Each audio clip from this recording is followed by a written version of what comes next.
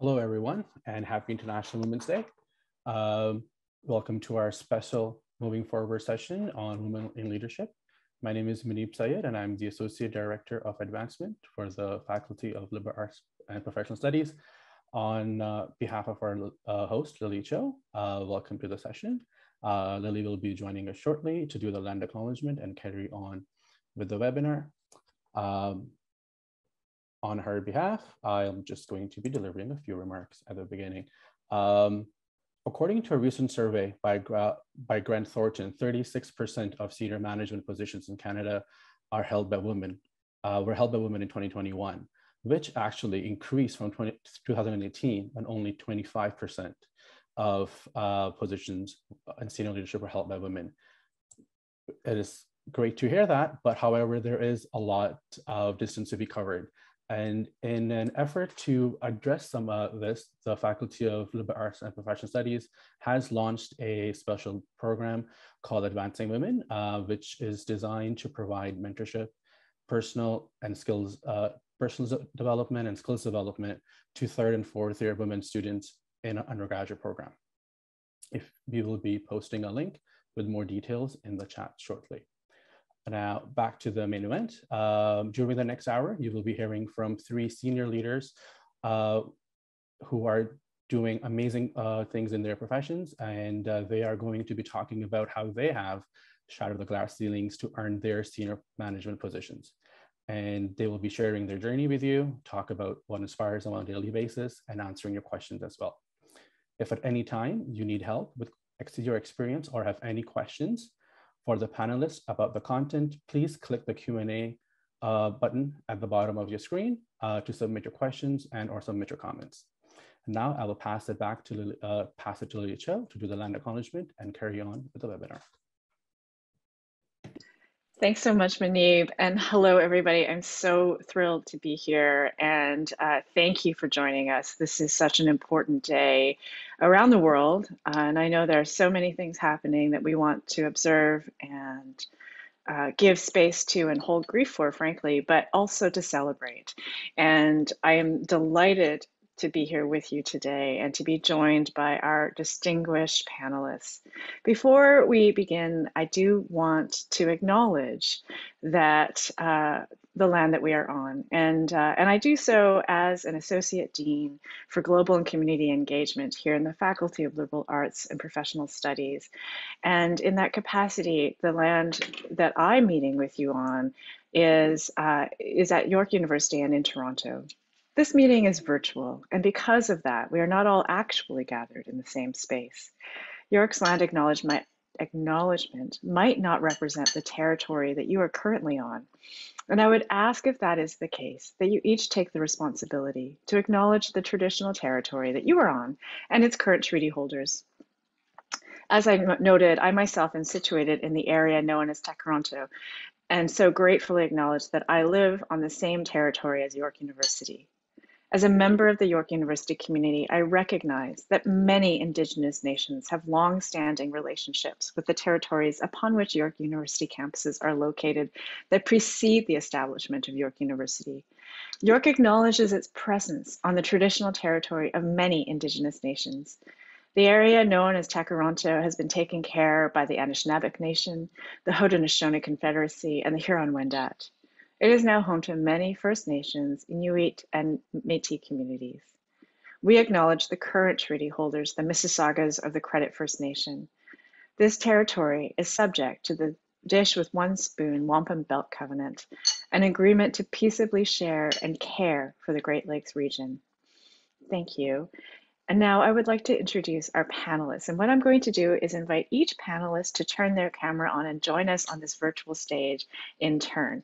And, uh, and once I call you up onto our virtual stage, distinguished panelists, please stay, um, introduce yourselves uh, and, and tell, tell us a little bit about yourself, and then I will invite the next speaker on. So the first speaker that I am so honored to invite onto our virtual stage is Deryn Rizzi. Deryn, could you please join us on our virtual stage? Thank you. Hello, thank you for having me. My name is Deryn Rizzi, so I'm the Fire Chief of the Mississauga Fire and Emergency Services, and I also serve as the Director of Emergency Management I oversee a team of 741 people. And I'm also proud to say that I am uh, uh still with York University as a PhD candidate. Thank you so much, Deryn. Um, our next panelist is Marsha Greene. Marsha, could you please join us on the virtual stage? Hi, thanks for having me. Uh, my name is Marsha Greene. I am a TV writer and producer, also known as a showrunner. Uh, I am currently the showrunner of a series called The Porter, which is on uh, CBC at uh, 9 p.m. on Mondays um, and will be on BET Plus in May in the US. And I'm also the Council Vice President for the Writers Guild of Canada and the chair of its Diversity and Inclusion Committee. Thank you so much, Marsha, um, and bravo on on all uh, Deryn and Marsha. I don't, I want to say all these things, but you know what? Let me let me invite Sharon onto the stage first because I'm just so excited to have all of you here. Sharon, can you please? Um, yes, here you are. Um, welcome. Well, thank you so much. It's great to be here. Uh, yeah, so my name's Sharon Zohar. I'm the founder and CEO of The Big Push. Uh, the Big Push is a business accelerator for women entrepreneurs. And we provide professional services and access to capital for women-led businesses to help them get through to their next growth of, um, of state, next stage of growth. Um, and I'm really excited to be here and to hear from all of the other women on the panelists here tonight. Okay, that is, I, am already so thrilled and so excited by by all of you here, by your accomplishments. I have so many questions for you, and but but first, I just actually want to acknowledge, you know, the achievements that you already have given you you've all been very humble in your introductions to each other. And i know we said you know do you know say what you want to. And i won't belabor um, the point because i know we have limited time but i do encourage everyone in the room and people in our audience now and on youtube later to look at the bios again for our panelists because their achievements are so extraordinary and we're just so lucky lucky to be in the room with you today. Uh, but let me let me throw a question out just to get us started. And i wanted to think about how you know given the current global climate that we're in can you talk a little about any particular experiences that have shaped your idea of leadership and what it means to you and uh, in fact, I'm going to just do that teacher thing where I, I, I call on somebody and then I'll, I'll, I'll riff from there so there's no awkward silences. Uh, Deryn, I wonder if you could start for us, please. I think the concept of, of leadership is evolving all the time uh, for me and my understanding of leadership. But if I if I take a look at it, I'm in the public service sector. So obviously service excellence um, and when I talk about service excellence, that's to our citizens and also, you know, to our internal uh, stakeholders, which is our firefighters. That's of utmost importance.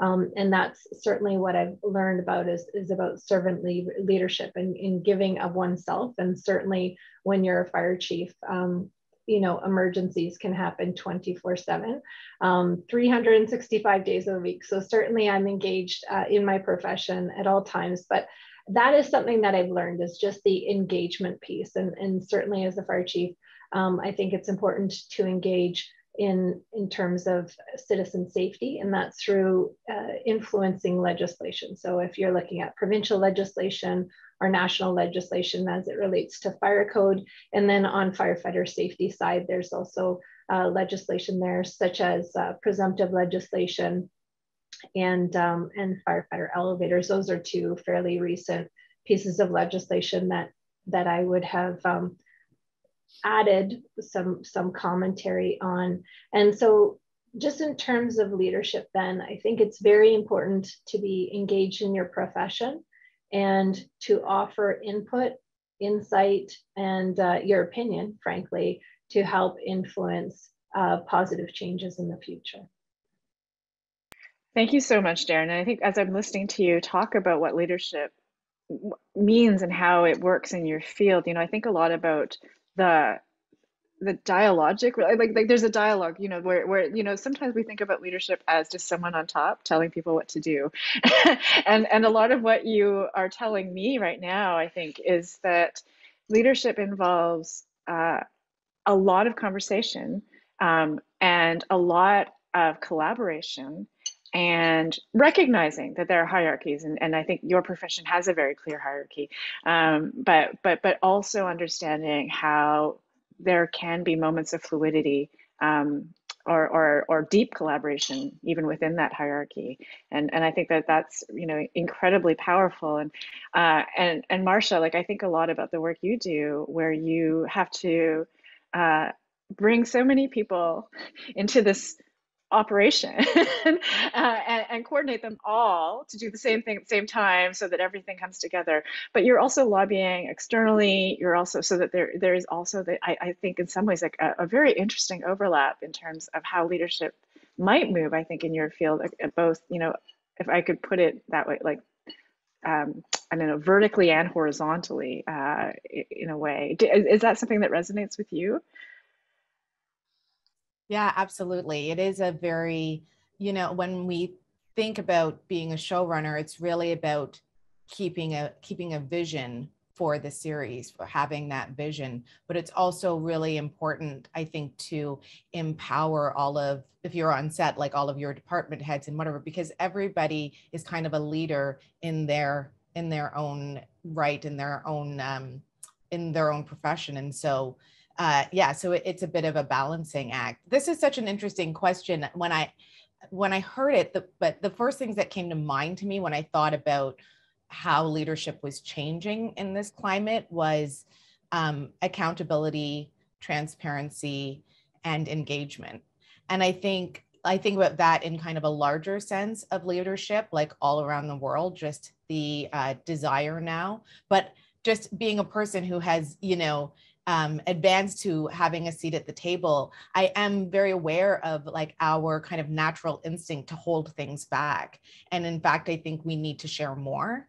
I think we need to be accountable for the things we do, the mistakes we make, and the achievements we have. And I think we really need to engage people in our communities, in our professions to help us, to help make us uh, better leaders.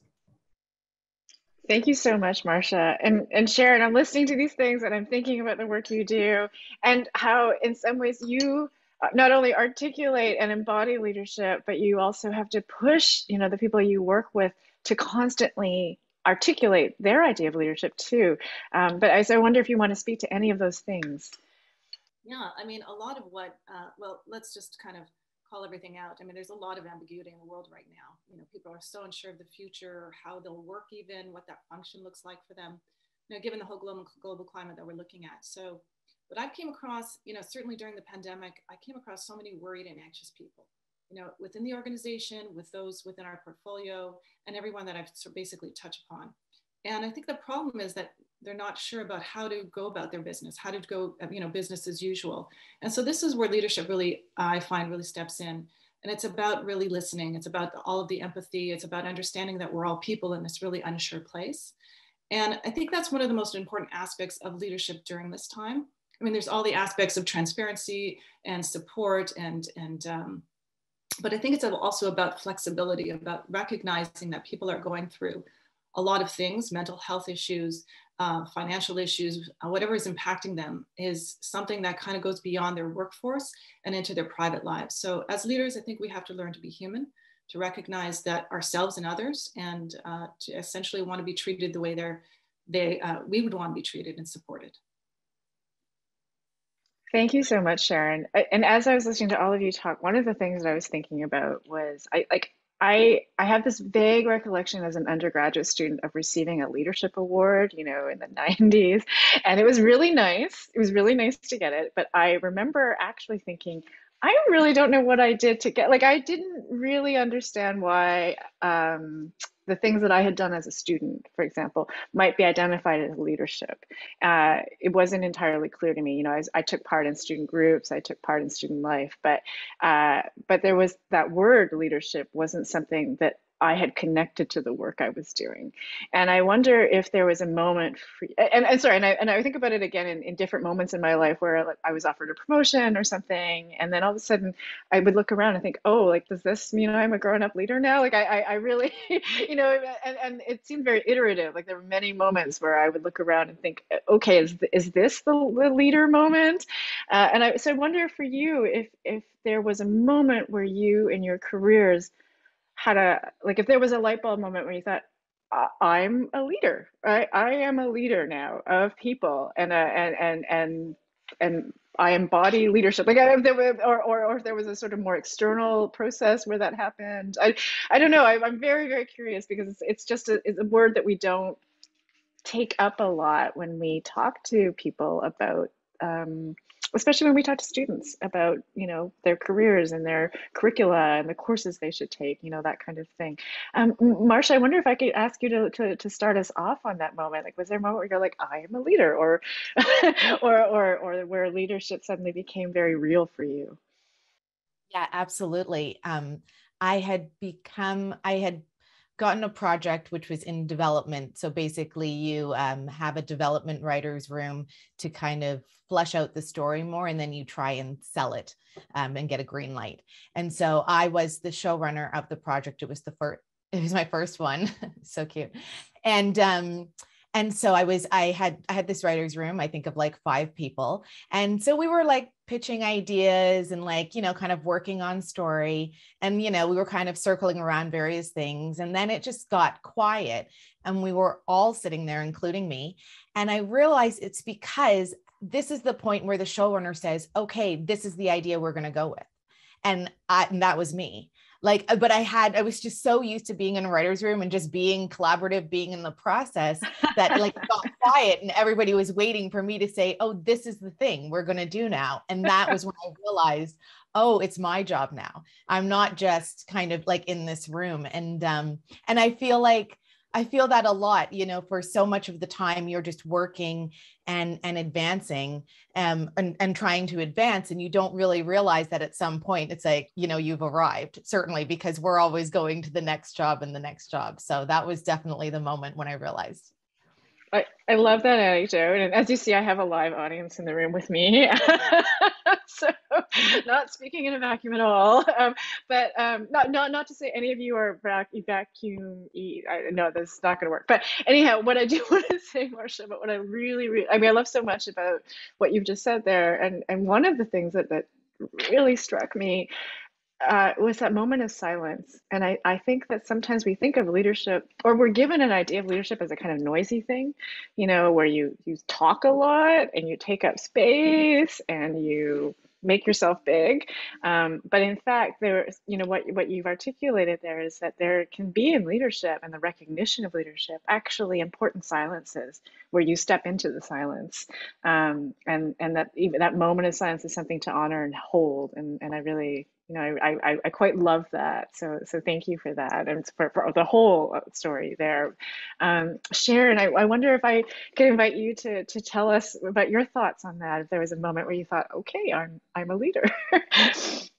yeah, I mean, very similar as well to Marsha. I think what happens is, and uh, as well, you know, alluding to the, the idea of listening. So when you're in a, an environment, leadership can happen in any space, in, in, in, high, in high school and university, throughout your life, you find yourself in being a leader in certain areas where you're just collaborating with people, listening, being having bring the space. And when it's that moment in time where there is a decision making. So when so I, I was in a, a, couple of instances where uh, we would open up the conversation and you know try to head towards a towards towards an end pro, you know end goal. Let's identify something.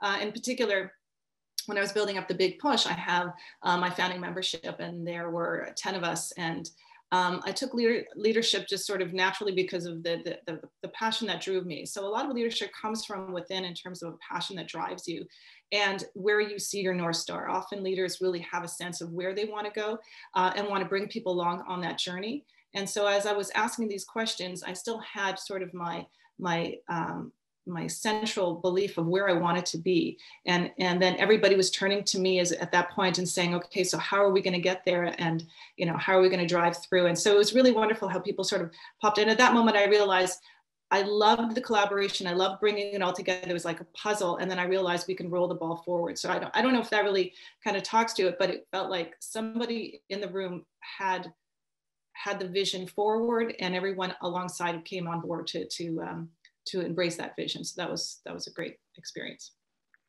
I, Sharon, that's so great because part of what you've identified there, and it came up a few times in, in, in what you just said, is the idea of vision.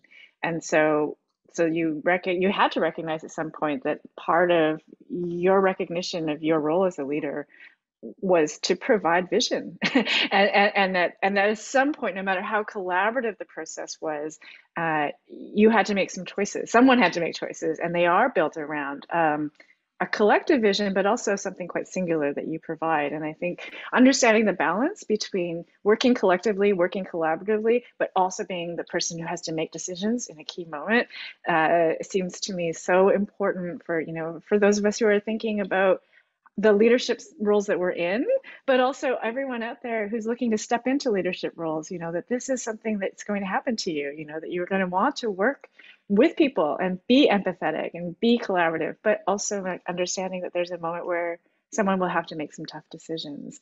Uh, Deryn, does, it, does any of this resonate with you? Does it call to any of your experiences of understanding this moment where you think, okay, I am a leader. I, mean, at least you have a title where you're chief. and, so I, and so I think about that um, and, and what it means to sort of move through your world in, in that in, in that title, but also in that role and, and anything else that might connect with what you're experiencing.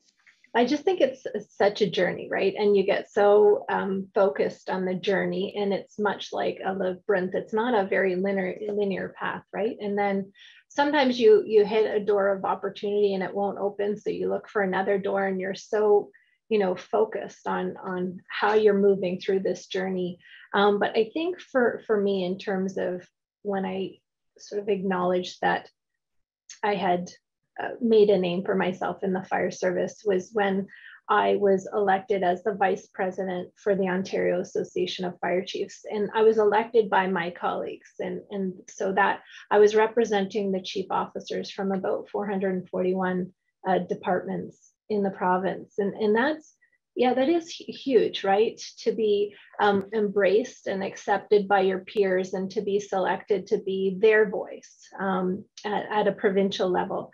So I think that was that was pivotal for me in terms of being embraced by my colleagues, obviously being embraced by your department.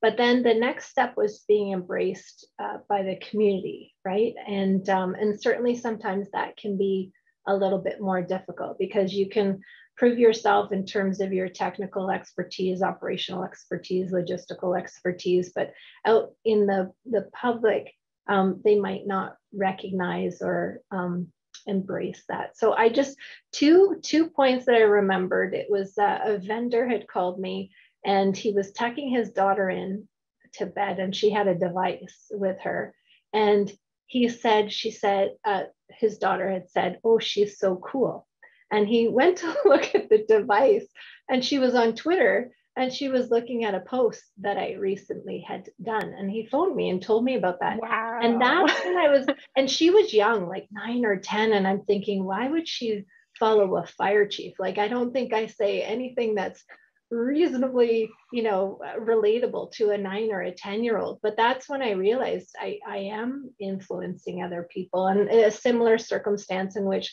uh, a firefighter in another municipality his, his daughter had drawn a picture of me. And then so you're starting and i get it these are these are people within the fire service world that are exposing their daughters to someone like myself and that is being of influence to them. But i'm realizing you know that i am making an impact on very young people's lives that is so beautiful, Deryn. And I, I, I, as you were talking, I was thinking about, you know, when my daughter was little and I would read those Richard Scarry books with her, which, you know, like what do grown-ups do all day?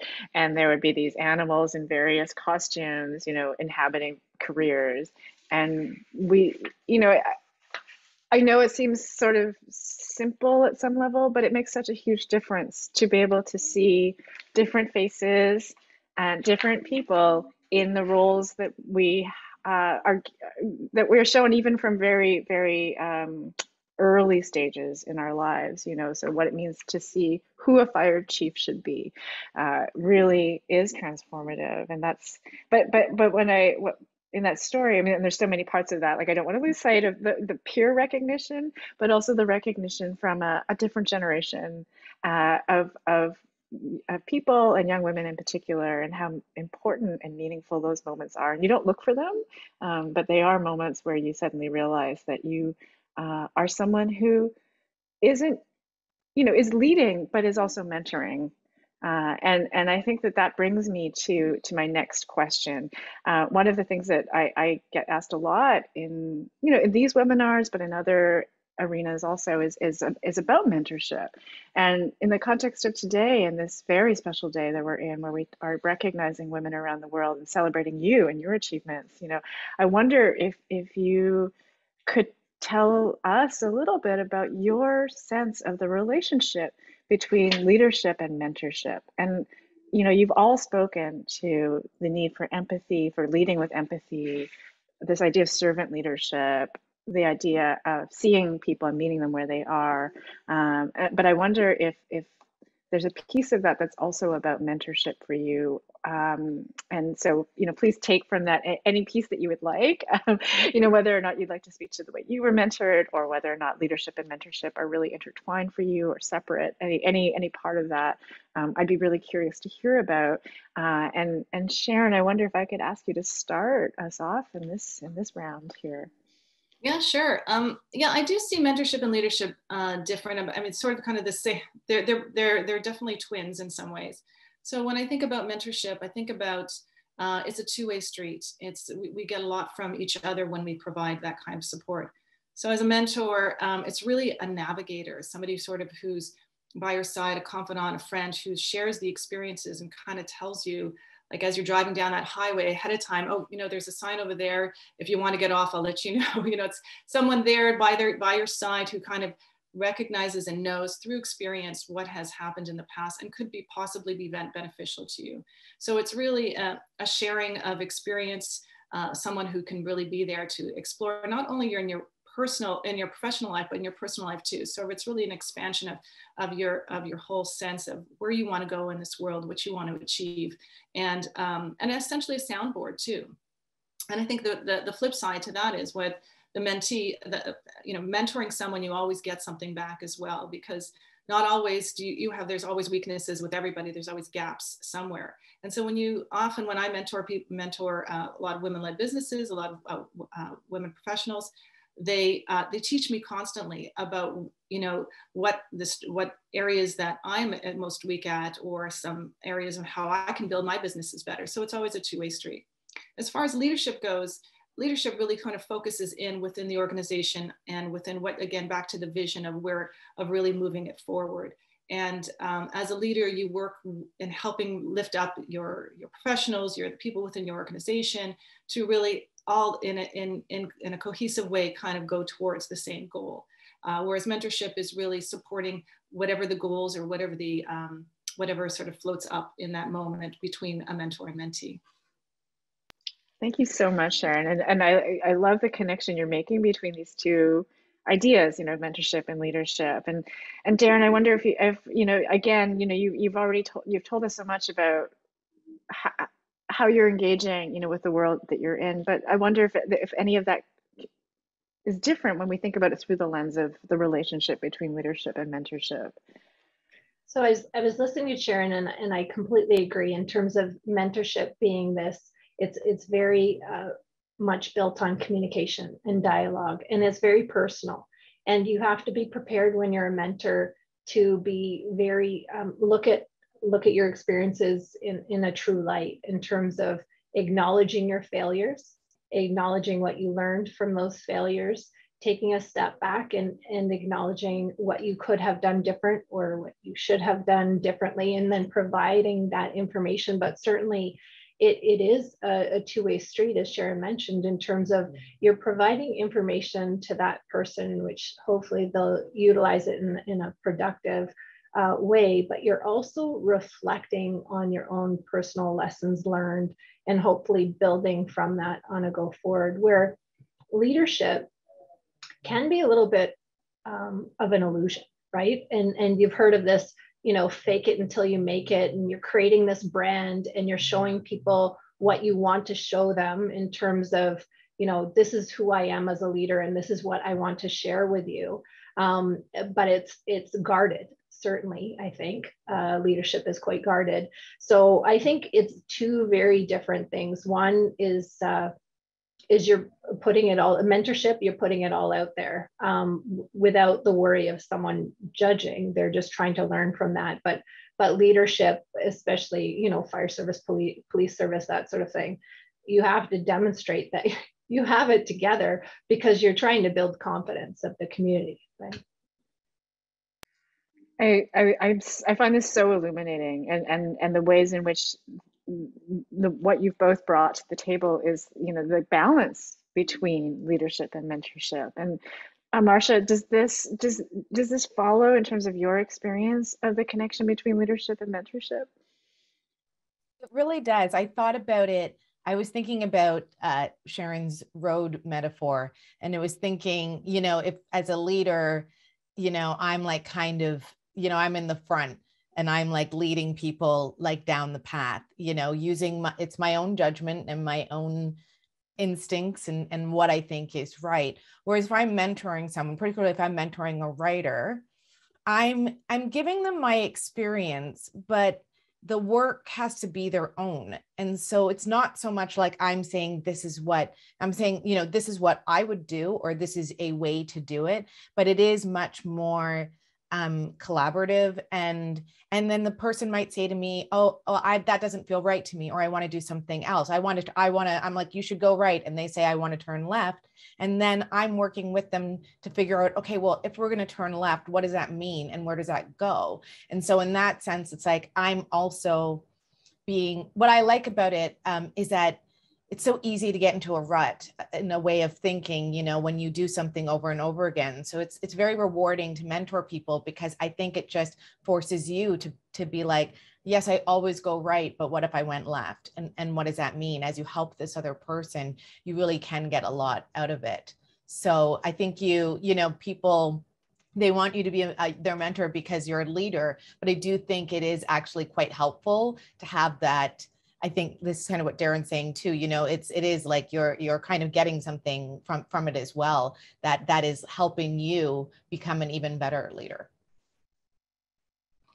Thanks so much, Marsha. And you, you just reminded me of, of something, you know, for, for those in the audience, we we had met earlier just to talk about this event and some of the questions. And I remember in our previous conversation, we talked a lot about how, you know, mentorship isn't a one-way street, you know, that it's not you as this leader with this giant body of knowledge that you're going to somehow you know transmit down to the mentee but that for all of us our in our experiences of leadership um, one of the things that we value is the uh, is the possibility of learning always from the people we work with, including the people we mentor, and and how important that is.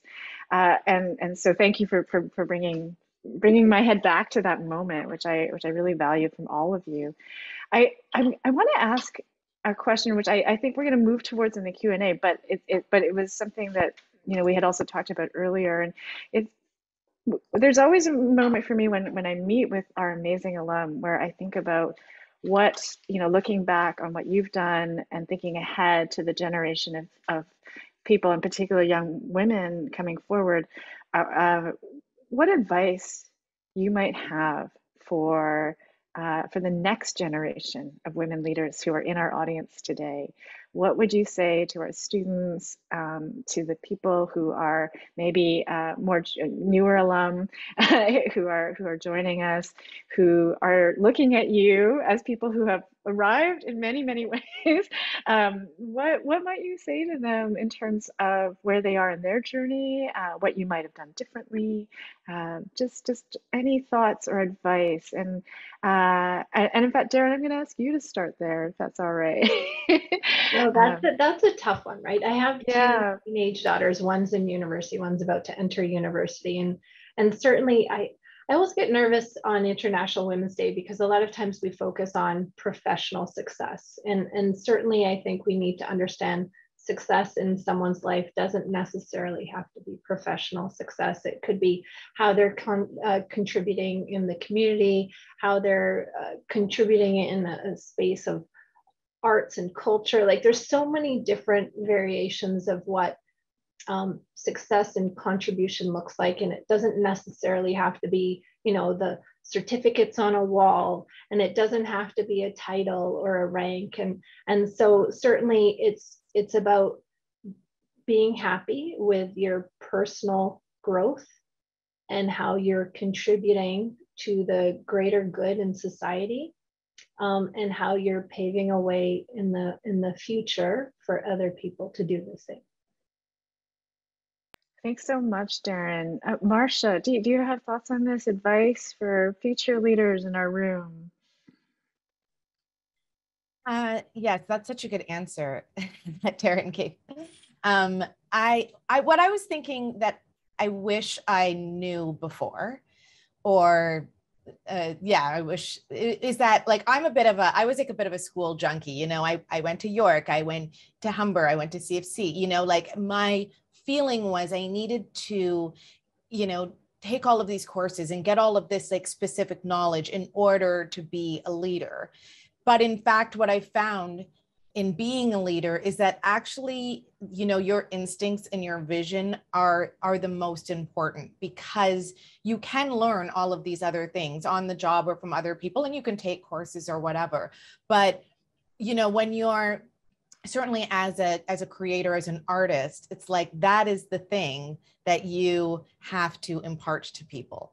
And and you need to be confident in that and you need to be confident that that's enough and you don't need to be right. I mean it isn't it's subjective you know art is subjective. So it's not really a question of are you making the right creative choice? You're making your creative choice. That's your job that's what you know that's what they've hired you to do and that's all you can do and so it can be very difficult to trust your own instincts particularly when you're starting out but i in fact i think that is the best that is the way to become the best leader and the times that you're wrong even those kind of help you along the way. That's my advice. Thanks so much marsha. So trust your keep you know don't stay open. Know that there are lots of paths out there. There isn't you know as deryn says one route one set of you know stairs or steps that you take not just one set of pieces of paper or documents that you need. Um, and and and that i think that's really important for for all of us to hang on to. And sharon do you have do you, do you want to jump in on this, sure. yeah, yeah. Um, i think mine's more tactical in the sense that like I think one of the biggest things is don't be afraid to ask. Don't be afraid to ask for meetings. Don't be afraid to ask for help. Um, we often kind of think about, oh, I can't reach out to this person because he might be in a, uh, or he or she might be in a, in a different type of leadership position.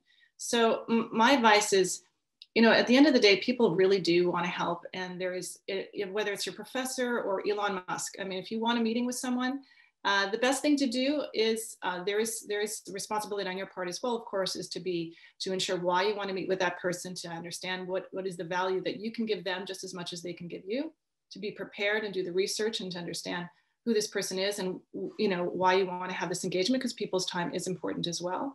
But to never sort of shy away from the opportunities of meeting with people because networks you will find out will be sort of the opening for that future leader that will be inside of you. So. Sharon, I really love that answer and the, the practical part of it because I, I will say that I have had, and I hear this from from friends in other sectors, from law and elsewhere, you know, that they they are always happy to meet with a younger person to talk about questions in the field about how to um, move through the world, basically. Um, but but there are moments where those meetings are terrible because the person for example, just talked about themselves the whole time, even though it was, you know, they were asking for her mentorship, you know, and they thought, well, you're 22 and you've asked me to meet with you to tell you about this thing. So you shouldn't, you know, let's, let's try to think through how this should be mapped out. And I think that that very practical advice, you know, where yes, you know, don't be shy, don't hesitate to reach out, you know, use these networks, use um, the alumni networks that we put together, for example, even through these webinars, but also do your research and know what you want from that conversation and be be prepared to listen and not and listening isn't passive either. You know think about how you're going to give as you listen. And i think those are really really powerful pieces of advice for the folks in our room and the folks who will join us later in um, you know, via our YouTube channel.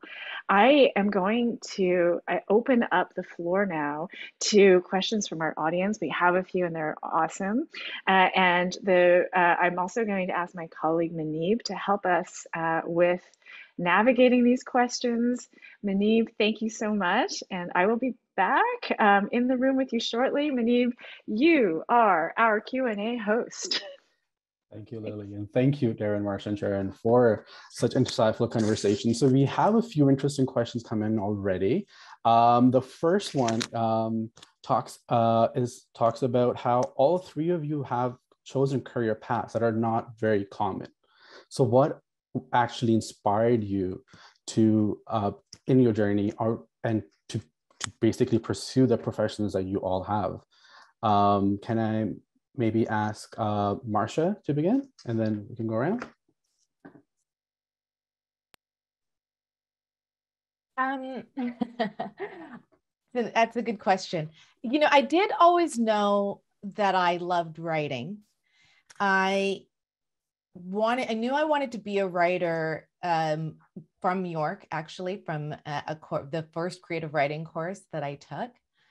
Um, but I didn't know, I didn't really think about screenwriting. I think it just felt very far away and like I, you know i'm from london ontario originally and so there's no industry there so i didn't know anybody in the business i wasn't seeing that so when i was thinking about being a writer i was thinking about you know like you know journalism or or writing a book or whatever um, and it was actually a friend of mine asked me if I could, this is, seems so random. I'm not even sure why he asked me, but he asked me if I could look up how to get the rights to a book to make it into a film. And in the process of basically Googling and trying to figure out how you would do that, because I had no idea, it just occurred to me like, why did I never think of being a screenwriter? Like, you know, at, at this time when I was young, I was quite, uh, I was a, really a book reader, but in my as I'd gotten older, I became like kind of obsessed with television, and I was like, I'm obsessed with television. I'm a writer. You know, why have I not done this? And then I just so I just started to research. Um, but I do think to myself now, often as I'm doing it, uh, I wonder what made me feel like it was possible. And I don't have an answer to that. I don't know where I got this like belief that somehow it was going to happen. I think what I felt was um, that I needed to try. Like if I gave up on it before I ever tried, I would always wonder. I would always wonder what could have happened. So I was like, you know, I need to give it a real try, give it my all. And then if it doesn't work out, it doesn't, but I that I would be able to maybe move on and get a more conventional job. But I was like, I need to go for it first. Thanks, Marsha. Sharon? Yeah, um, yeah. For me, I mean, my path was not straight at all. I mean, I did start with um, out of side of York, English and communications, and I went right into book publishing, which is really what I wanted. I loved writing. I loved, I was really intrigued by that whole world and the one thing I will say, and, and I had many sort of twists and turns, and I went, went from book publishing to tech very quickly, only because I really just ended up, everything that I did followed my nose, followed my passion, whatever was happening. So um, I'm dating myself, but in the, you know, in, in the early 90s, um, you know, there was a sort of tech boom or later 90s with tech boom and everything. And so I was really interested in what was going on there. And I really wanted to sort of hop on that wagon. And, um, and I, what I recognize is from my studies is that there that there isn't a straight line that whatever really excites you answer your call to that in whatever form. So starting the big push really came out of my desire and need to recognize that uh, i had struggles as i was building other types of companies but i noticed that there was this bias. And i wasn't sure i didn't even have a name for it. I didn't even know if it was a bias. I was thinking is this me? Um, things feels a little bit off. But as i was going on and on and building all these types of businesses i was speaking to other women and building up my network and recognizing there is more to this than just me. This is actually systemic and I want to do something about it. So my nose led me to again to the next passion, which was really supporting and helping uh, you know women-led businesses get through this chasm of, of lack of investment, of lack of support. And, um, and and I always say that to my my teenage daughters as well. It's like just I know it sounds everybody's heard it before, but really do find and follow your passion and wherever that will take you. So whether you start somewhere in the university in a different course, it doesn't mean that you have to go down that path. You could completely, you know, it's more exciting when the twists and turns come. Thanks, Sharon. Deryn? So I was a, a, typical case of becoming what I saw in life. So both my parents were teachers. My grandmother was a teacher. My older sister was a teacher. So I became a teacher. And within the first year, I just realized that it wasn't what I wanted to do for the rest of my life. And I was very fortunate. I was swimming with a master swim team, just, you know, um, in terms of a hobby. And one of the swimmers was a firefighter. So he suggested that I apply to become either a firefighter or a police officer just because of my uh, athletic background when I was in university and younger. Um, so I just happened to apply to the fire department. Uh, 2,500 people applied and they hired 16, and I was one of them. So it was just uh, a very lucky um, coincidence. And then just uh, I I looked for a way that I could compete that was different than the fire. So the fire service is, is pretty much built on a seniority based system. And um, so you move up the ranks based on how long you're in the fire service and you're able to compete at more of an incident command um, level or a tactical level. So I looked for a way that I could differentiate myself from the other candidates, and that was education. So I really took a lot of courses and that's how I looked different on, on paper than the people I was competing against for chief officer position. Thanks, Deryn. So we have our next question uh, coming from uh, Roanne, and she's talking about what kind of steps did you take to build confidence in yourself during your career journeys? And if you ever have had moment of self-doubt, how did you overcome them? Who wants to tackle that? first? I'm happy to. um, absolutely. Self doubt. I don't think there, I'd be surprised if anyone on this panel hasn't had self doubt or uh, fear or any of those things. Uh, failure and fear and self doubt are sort of the process of trying to figure out yourself and understand what feels good, what doesn't feel good, what you learn from, and so on. So, confidence is. Um, isn't ever in every every day is something that can come up and you can kind of uh, approach it so for me when i think about confidence is i throw myself into it's like the it's the mirror image of fear i have to face my fear and then get through it and that's where i feel most confident um, because it's just it's the it's the space between the decision and doing is this is this is is where confidence kind of like rears or lack of confidence rears its ugly head the minute you just say yes to things yes, you're scared. Yes, you're all of these things, but then you, you build that confidence to be sitting in that arena and at that table and be able to take charge of whatever it is that you want to take charge of. And, uh, and don't be afraid to fail because that's where you learn the most. Thanks, Sharon. Deryn or Marsha, do you want to add anything to it? I'll go next. Um, uh, well, I think there there are two things. One, um, I actually have these uh, like sticky notes on my walls in my office right now. I'm looking at them in front of me. And the first one said is from a it's from a poem. And it says, uh, stop asking, am I good enough? Ask only, am I showing up with love? And I, I always do that before I'm about to like do something where like I'm gonna be nervous. Like it's not to think like I'm just going there to bring my I'm bringing my best self, and that kind of has to be enough. Like I can't really control anything but that. So I always like read that quote and I feel like whether I'm not sure it gives me confidence, but it definitely calms me down and like allows me to like enter whatever room.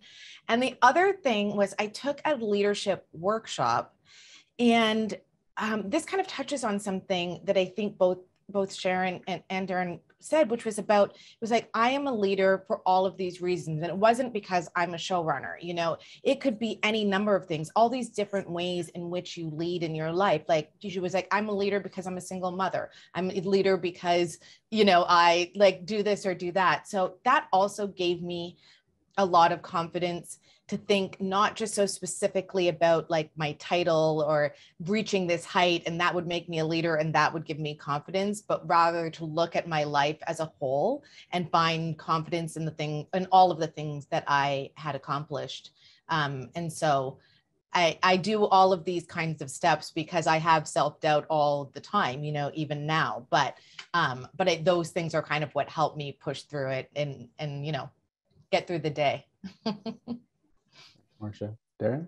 So studies show that uh, women have to be asked seven times before they step up for a specific opportunity. But the thing is, what happens if nobody asks you the question in the first place? You'll never get that opportunity. So uh, a friend I remember said, Um, I'm much like every pool that I walk by, I jump in the deep end. And you have no choice but to swim or you will drown, right? And I don't want to say that I do that blindly because there's certain opportunities or, or things that I know that won't be successful. So I choose not to jump in those pools. Um, but uh, I think what you just have to do is, is really truly believe in yourself and know that it's going to be a lot of um, time, effort, dedication, and it's not going to feel good.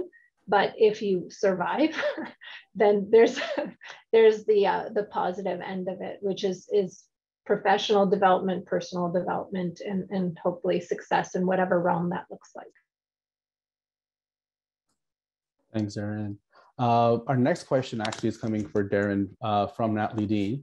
Uh, she's starting her fire training journey in May, and she would like to ask you: Is knowing what you know now, in being in being the position you're in now, what would you tell your younger self who was starting out on your professional journey as a firefighter?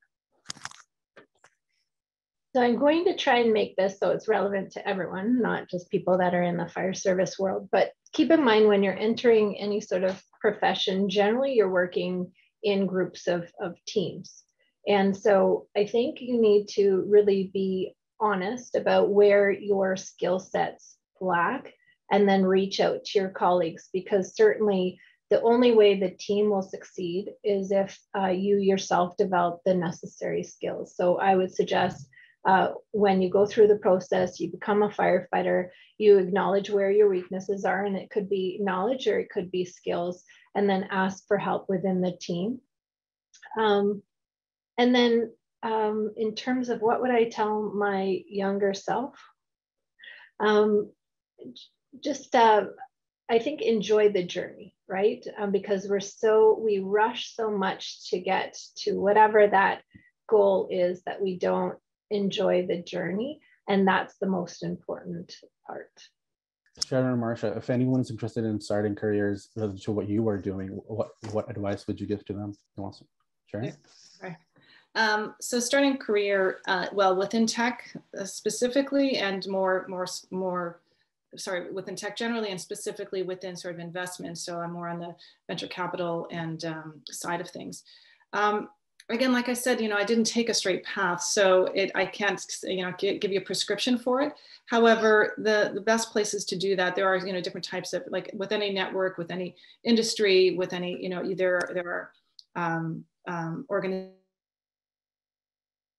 that you can take a look into. Uh, um, the angel networks to learn a little bit more about uh, venture capital, to understand more about you know different types of uh, journals that speak specifically to the tech industry and the startup community, like BetaKit and um, Startup Canada, and so many others.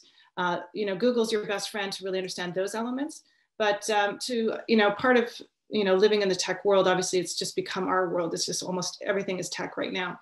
So you know, getting a little bit more closer to understanding what what does it take to uh, build a business, to understand sort of all the levers that are that are in, in, integrated into schooling is definitely one of it, but there's always great opportunities to do internships. So I really, I really encourage uh, to find out other, other, there's so many businesses that are offering some paid internships, some not, but gives you sort of a hands-on experience to really understand whether this is right for you.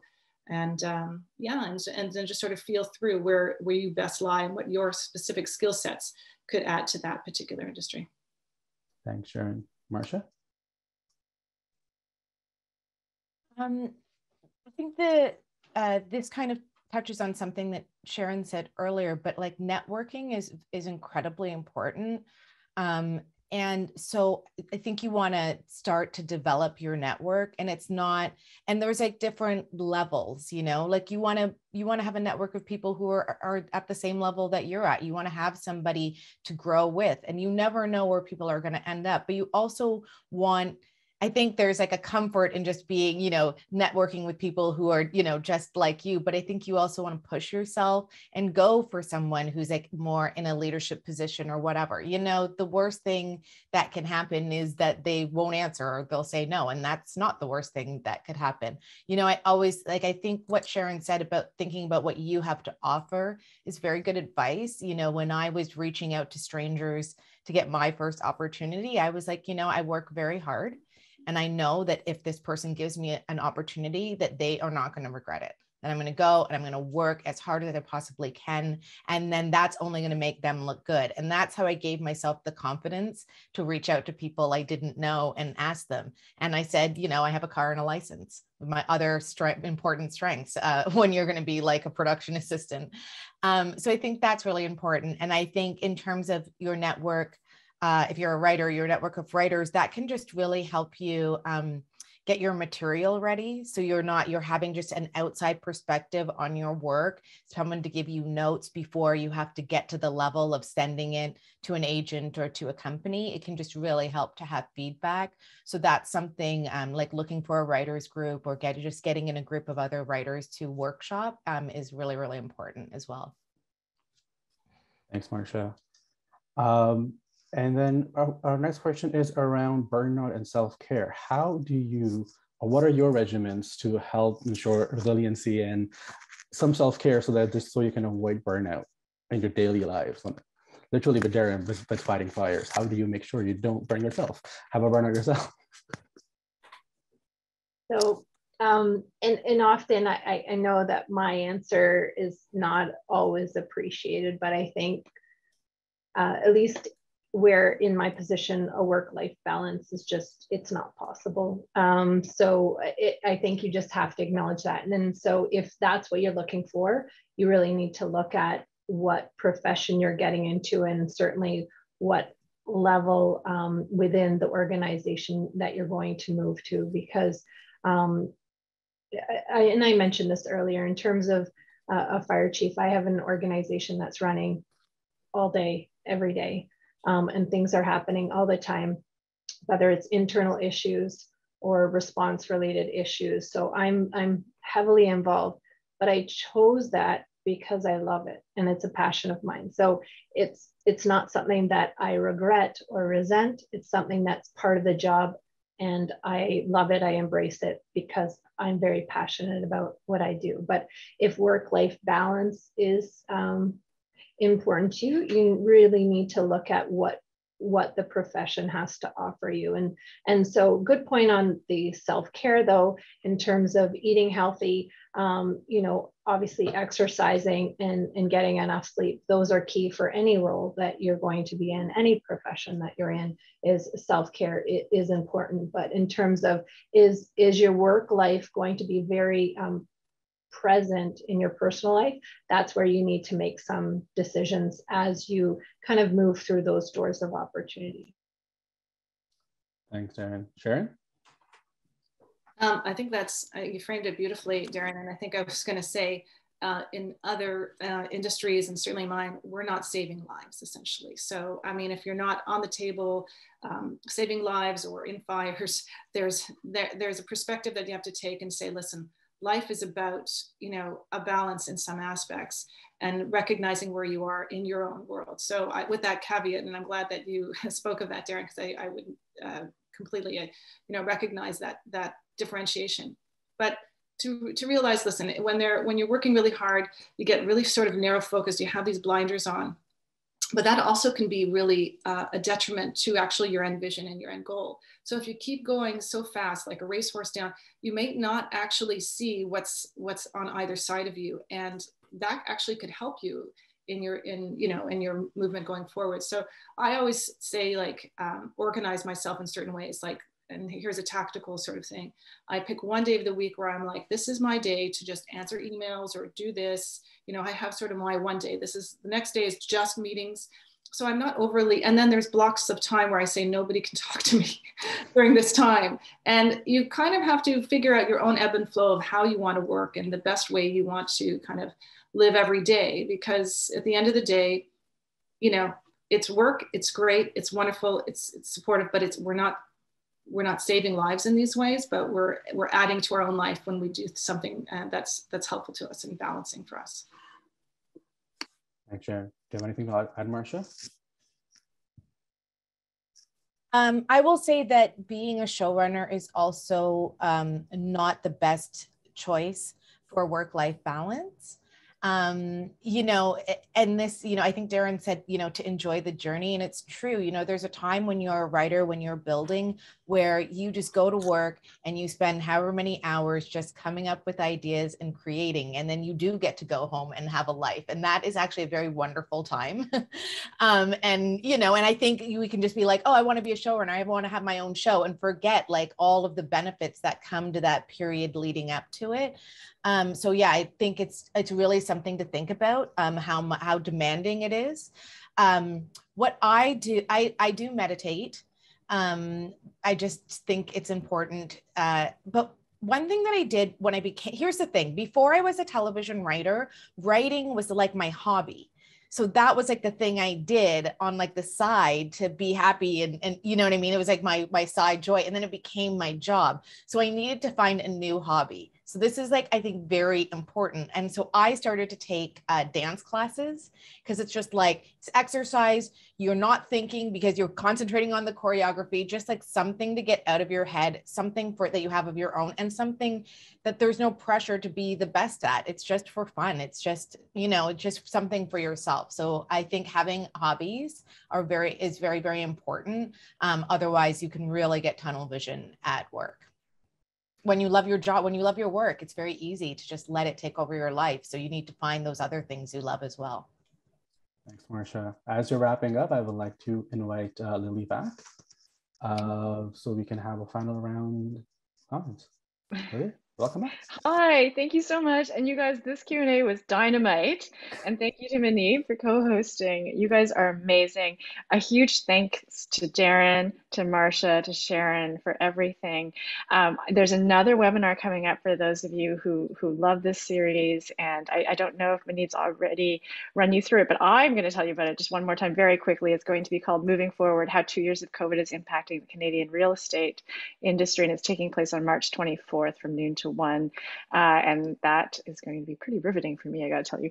but um, but, I, but just very quickly, thank you again. Thank you to everybody in the room for your amazing questions, for your engagement. I One of the things that I always say during these things is that, you know, during this period of Zoom webinars, those of you who are in the audience, I, we can feel you. We know you're there, and we really honor and appreciate what you've brought to this webinar, along with, of course, our distinguished guests.